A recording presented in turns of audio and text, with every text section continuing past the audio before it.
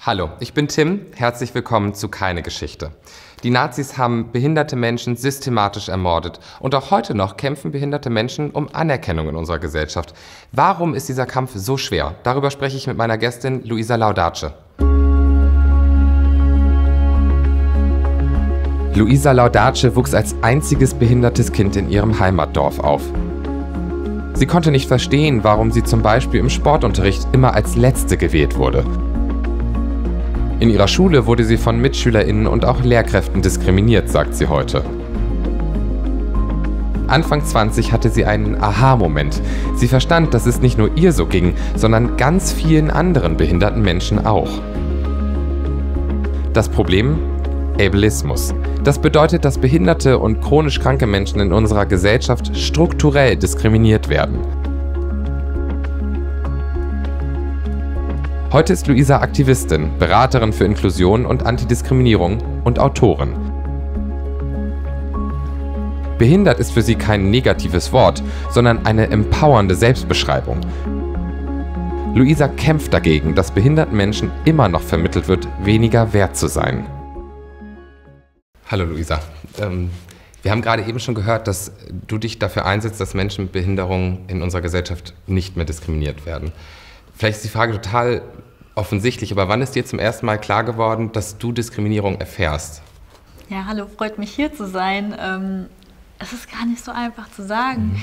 Ich sage immer, auch wir müssen lernen, dass wir diskriminiert werden. Also wir wachsen mhm. ja nicht auf und sagen, ja, also ich habe jetzt diese Identitätsmerkmale und deshalb mhm. werde ich diskriminiert. Das ist ja das, das Fiese eigentlich mhm. an diesem System. Und deshalb kann ich gar nicht genau sagen, wann es so das erste Mal war, dass ich das dann auch richtig eingeordnet habe, sondern ich kann mich an ganz viele Erfahrungen erinnern als Kind, äh, als Jugendliche, aber dass ich das dann erst zusammengekriegt habe in meinem Kopf und gedacht habe, hey, das, das passiert dir gar nicht, weil du irgendwie selbst schuld bist mhm. oder weil das ein individuelles Problem ist, sondern das passiert ganz vielen Leuten, auch, die mhm. auch eine Behinderung oder chronische Erkrankung haben. Mhm. Und das hat einen Grund und einen Hintergrund.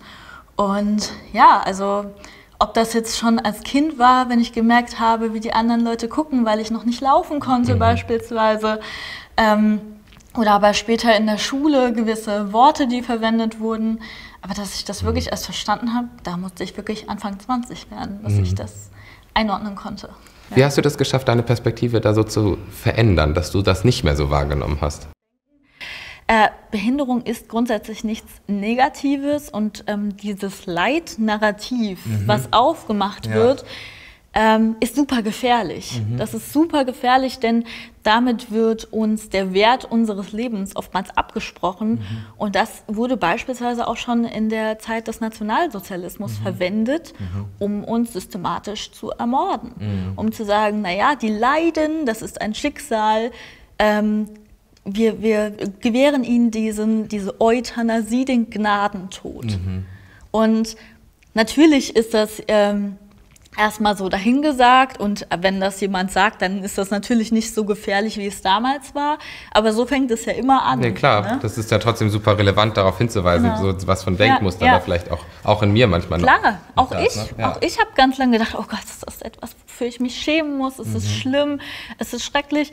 Aber mal ganz ehrlich, am meisten leide ich unter der strukturellen Diskriminierung. Ich leide nicht in den wenigsten Fällen unter meiner Behinderung und ich will das gar nicht kleinreden. Es gibt Sachen, die eine Behinderung mit sich bringt, die nicht schön für mich selbst sein können oder eine andere Person. Das will ich überhaupt nicht kleinreden, aber das muss jedes Individuum für sich sehen und es darf nicht fremdbestimmt so als Aufkleber draufgeklebt mhm, werden. Absolut.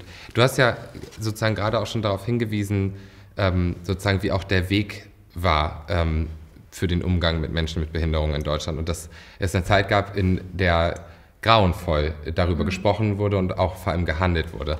Und ich würde ganz gern mit dir gemeinsam auf das Schicksal von Anna Lehnkering gucken, die ähm, zur NS-Zeit gelebt hat. Und ähm, genau, lass uns mal schauen, wie, wie es mit ihr, äh, wie es ihr ergangen ist in dieser Zeit. Anna Lehnkering kam aus dem Ruhrgebiet und war 24 Jahre alt, als die Nazis sie ermordeten. Gnadenlos verfolgten die Nazis Kinder mit geistigen Behinderungen, so wie Anna. Sie sahen sie als nicht lebenswert. Bis 1940 war Anna in einer Heil- und Pflegeanstalt. Dann wurde sie in die Tötungsanstalt Grafeneck in Baden-Württemberg gebracht. In Tötungsanstalten experimentierten die Nazis mit Gastötungen. So bereiteten sie die späteren Massenmorde vor, beispielsweise in Auschwitz. Mehr über Annas Leben könnt ihr in einem Buch von ihrer Nichte lesen. In einem Brief an ihre Tante, die sie nie kennenlernen konnte, schrieb sie: Liebe Anna, du warst 24 Jahre alt, als die Menschen dich im Namen einer menschenverachtenden Ideologie ermordeten. Heute bist du in der Erinnerung deiner Familie lebendiger als je zuvor.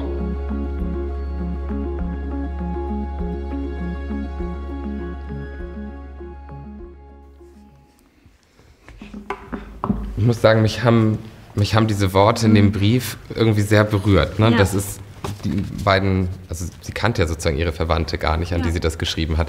Was macht das mit dir emotional, das zu hören? ist halt ganz schwer natürlich. Also auch jedes Mal diese, diese Personen auch zu sehen, die Fotos zu sehen, macht das natürlich nochmal viel äh, reeller, obwohl ich mich schon so viel eigentlich damit beschäftigt habe natürlich. Ähm, und ich finde es total wichtig und äh, toll, dass ähm, ja, darauf aufmerksam gemacht wird und dass da endlich eine gewisse Sichtbarkeit entsteht und zumindest ein paar Menschen mittlerweile sich dessen bewusst sind, was da passiert ist und dass das leider auch jederzeit wieder passieren kann. Siehst du das als reale Gefahr, dass nochmal wieder so gehandelt Total, wird? Ja. also wie oft muss ich darüber diskutieren, ähm, warum es nicht okay ist zu sagen, dass gewisse Menschen äh, ja, entmündigt werden müssen beispielsweise. Also wir haben immer noch leider Dinge verinnerlicht, gerade auch, ähm, es geht um Anna, Anna hat ja eine Lernbehinderung und ähm, gerade um diese Menschen, die in unserer Community wirklich mit die marginalisiertesten Menschen sind, gibt es noch Diskussionen, die sind absolut zum Haare raufen und die sind unfassbar gefährlich. Was mir auch so mit Blick auf die Fotos, die wir gesehen haben, aus Annas Leben auffällt, das widerspricht auch so diesem Narrativ, dass ein Leben mit Behinderung keine Freude haben kann, dass man keine Freundschaften schließen kann. Ist das was, was dir oft begegnet, dass dieses Vorurteil ist? Naja, man kann ja eigentlich nur traurig darüber sein, dass es einem so geht. Total. Also man sieht ja die Fotos, sie lächelt, sie ist da irgendwie mit ihrer Familie. So, wer, wer kommt auf die Idee, ihr diese, diese ähm, Lebensfreude abzusprechen? Und was wir dann aber im Gegensatz auch oft haben, ist, dass Menschen sagen, ach toll, dass du trotzdem noch so lebensfroh bist. Ich könnte das nicht. Und ich denke mir so, was ist denn dann die Alternative? Vergrabe ich mich irgendwo? Oder also, Und das, das passiert sehr oft. Warum glaubst du, kommt es so langsam voran damit? Warum tut man sich so schwer damit, diese Probleme abzubauen? kostet Geld.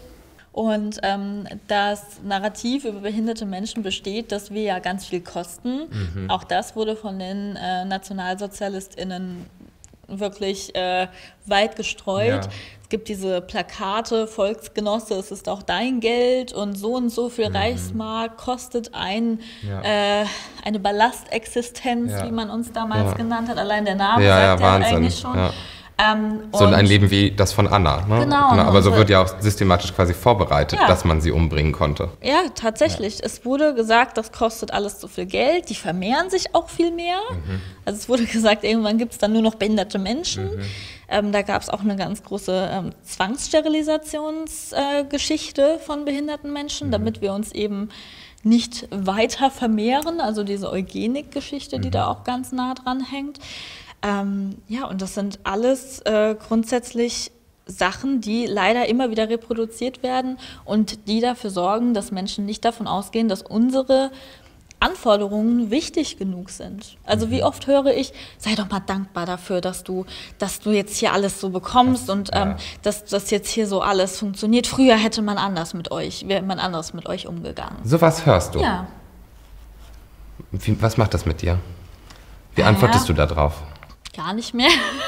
also natürlich, ne, du kannst natürlich dann diskutieren, aber wenn eine Person so ein gefährliches Gedankengut Mhm. trägt, dann muss man vielleicht auch einfach ganz schnell das Weite suchen ab Mhm. einem gewissen Punkt, weil das natürlich auch gefährlich wird Voll. für mehrfach marginalisierte Personen wie mich. Und das ist, ja, also es ist, ist ganz schwierig, gerade im Internet hört Mhm. man das sehr viel. Ja, das glaube ich. Und ähm, ja. Mhm.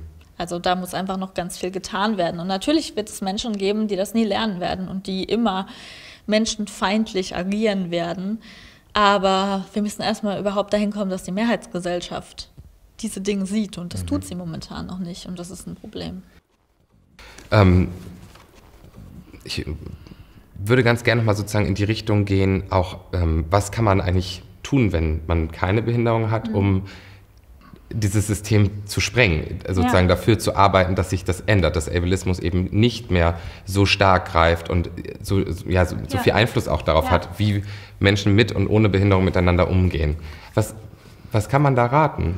Ähm, sich informieren mhm. ist das A und O, also mhm. zuhören. Bescheid wissen. Ja. Genau, zuhören, nicht für behinderte Menschen sprechen, sondern ihre Stimmen lauter machen. Mhm. Ähm, das eigene Umfeld sensibilisieren mit dem, was man mitbekommt, ohne die Stimmen behinderter Menschen leiser zu machen. Mhm. Ähm, ich erlebe es dann zum Beispiel oft, dass das Wissen, was eigentlich von behinderten AktivistInnen stammt, dann von nicht behinderten Menschen einfach als ihres ausgegeben mhm. wird. Das ist natürlich nicht der Sinn der Sache. Mhm.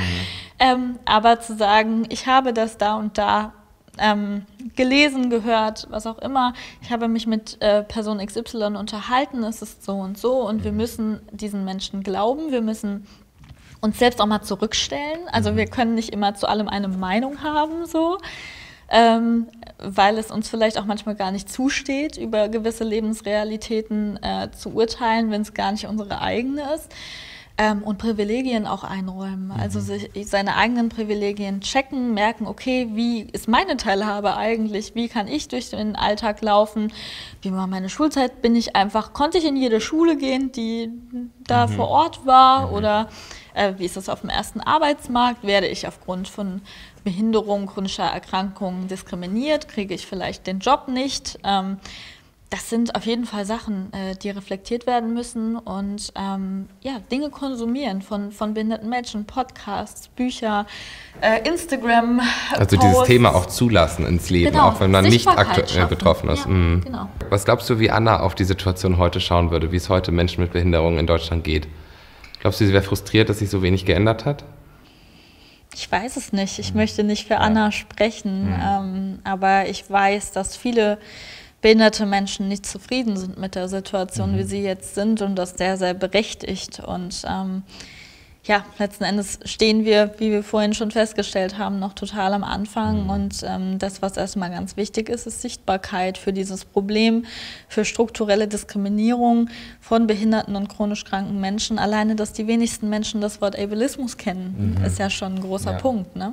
Ja, packen wir dazu auf jeden Fall nochmal Infos ja. auch in die Infobox. Das ist Gerne. ganz wichtig, darüber aufzuklären. Lisa, vielen Dank, dass du dir die Zeit genommen hast. Danke dir. Danke. Wir haben jetzt so viel über Barrieren gesprochen. Haltet ihr auch mal die Augen auf. Wann begegnen euch Barrieren? Wann stellt ihr fest, dass unser Alltag absolut nicht barrierefrei ist? Schreibt das unten in die Kommentare und lasst uns ein Abo da, damit ihr keine der Geschichten von Keine Geschichte verpasst.